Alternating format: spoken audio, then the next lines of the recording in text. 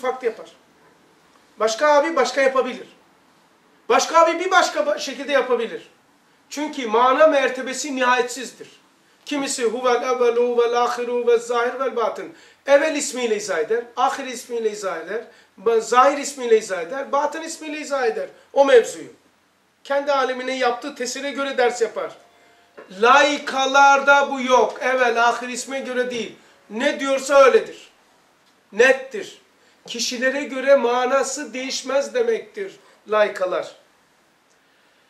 Bir de okuyayım çünkü emir ve nehilerde müteşekkirdir. İmani ve ilmi mevzulardan mana mertebeleri olduğundan manalar farklı farklı anlaşılır. Fakat laikalar nas, muhkemat, esasat ve zarurat olduklarından farklı farklı anlaşılamazlar.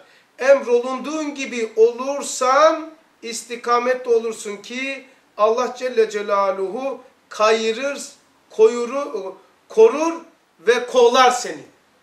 Eğer Risale-i Nur'un laikalarına yapamasan bile kabul edeceksin. Doğru budur. Yapamıyor. En düşük seviye şudur.